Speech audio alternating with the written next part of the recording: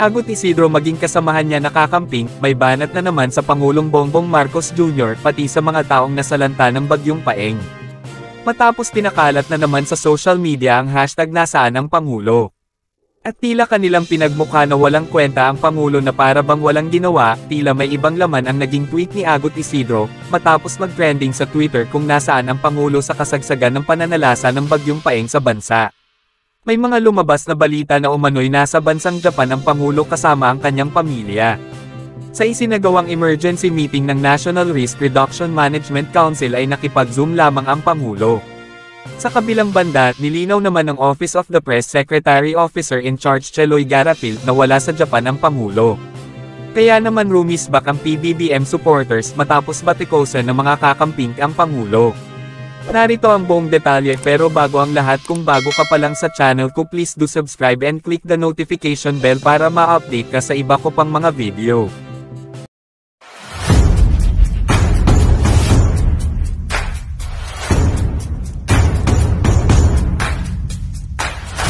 Hay nako, eto na, na naman sila. Kinukumpara nila si Lenny Robredo kay Inday Sara Duterte.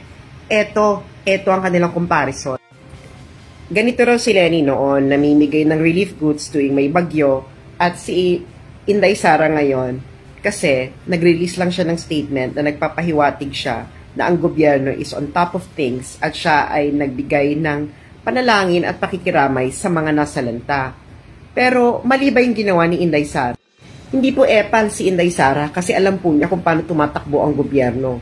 Ang unang-unang responder tuwing may bagyo ay ang LGU, nakasaad yan sa batas. Ang ginagawa ni Lenny noon ay may epal-epal upang gamitin ang disaster para sa kanyang sariling political ambition. Saka bago tayo magkalimutan, naalala nyo ba ang isang first major bagyo noong si Lenny Robredo ay Vice President ay ang Typhoon Nina noong December 2016. Nasaan siya noon? Hindi ba siya ay nasa Amerika upang magbakasyon at para sa kanilang family reunion? Nakalimutan nyo na ba yan? Hindi pa namin yan nakakalimutan. Che! So, heto na naman tayo, no? Trending na naman ang hashtag nasaan ang Pangulo. At ang pinaka nakakatawa, itong mga nagpapatrending ng hashtag nasaan ang Pangulo, eh hindi naman taga Mindanao. At isa pa, wala namang mga naitulong sa Mindanao, panggulo lang. Di ba, nang iinis lang, nag-iingay lang. Nakakalungkot lang mga lords kasi parang naghihintay talaga sila ng kalamidad.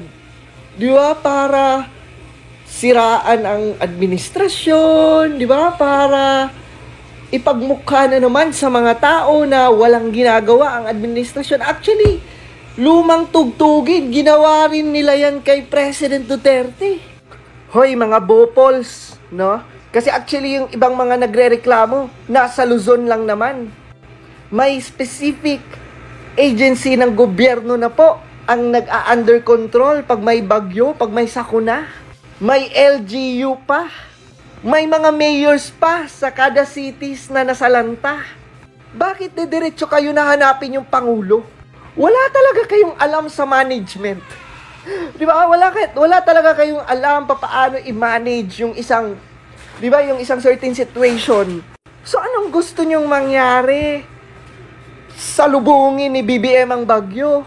Higupin niya lahat ng baha agad. Eh, may mga sitwasyon na hindi natin kontrolado. Kami nga dito sa Mindanao, hindi nga kami naghahanap ng Pangulo. Kami po ay kusang bumabangon sa mga sarili namin, nagtutulungan.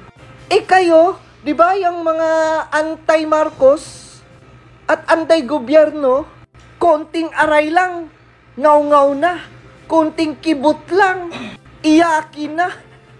Tigil nyo na yan! Di ba? Ginawa nyo rin yan sa, kay President Duterte, gagawin nyo ulit kay Marcos. Lumang tugtugi na yan! Tapos, biglang isisingit na naman yung ina nila. Luma na yan, lumang style na yan, hindi na yan kinakagat ng mga tao. Ang gawin nyo, tumulong na lang tayo, tumulong na lang kayo. Kami ngang mga taga Mindanao, hindi nga nagre-reklamo, never namin hinanap ang Pangulo. Eh kayo, hindi nga kayo apektado, pero kayo pa yung puro reklamo.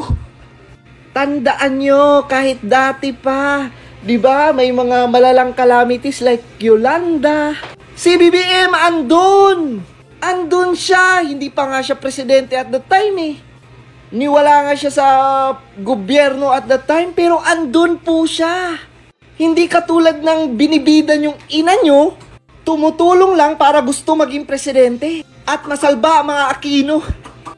Hey there. I wasn't planning to make any videos today, but some kakampings are pissing me off. So we all know the situation sa Cotabato ngayon, di ba? Ang dami namamatay.